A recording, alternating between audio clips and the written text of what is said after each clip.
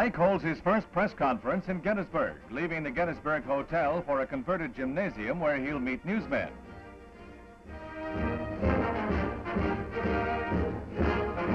At the press conference, most of the president's remarks deal with the coming visits of Nikita Khrushchev.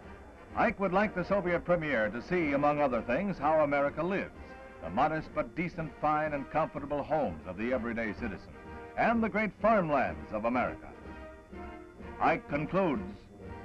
Now I want him to see our great industrial plants and what we're doing. I want him to see a happy people. I want him to see a free people doing exactly as they choose within the limits of not that they must not transgress